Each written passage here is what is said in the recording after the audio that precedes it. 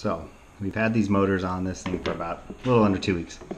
Probably got about 50 batteries or so run through it. Um, I'd like to talk to you about what I found, what I felt, and what I liked and what I didn't like about them.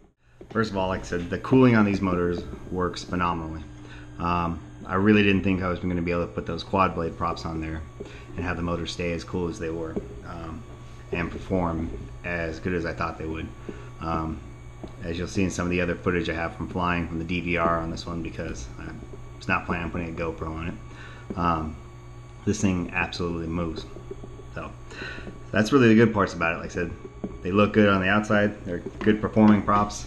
The only issue I have, and I'm not sure if it's because these are early production ones and they don't, I don't think they have the final bearings that they're supposed to have as it's supposed to have NSK Japanese bearings in them, which most other manufacturers use, and I really haven't had too many problems with them. Runs the standard size magnet and shaft size for 22 size motors, which also again, usually I don't have any problems with.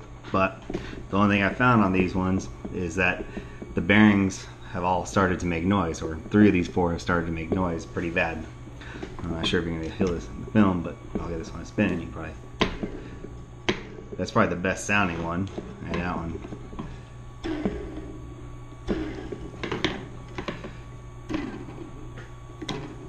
The good news is that it still works and flies just fine. You can feel that bearing when you spin it in the frame, but it doesn't seem to translate to any problems while flying.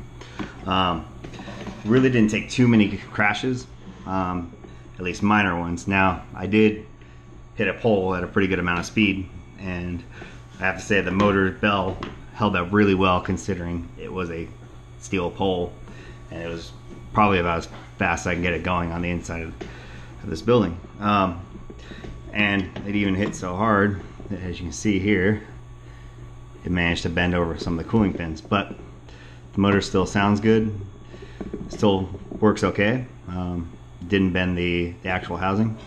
Um, this motor also took a somewhat of a hit there too at the same time. Uh, as you see my camera took a grunt of the hit and it hit around in this side and this area here. Um, did some damage to the VTX too. It was a, it was a pretty bad hit. Um, but like I said, no damage to the motors.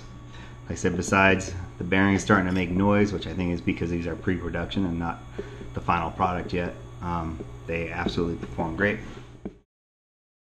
I think they're a great product so far. Um, so hopefully we'll see something with the uh,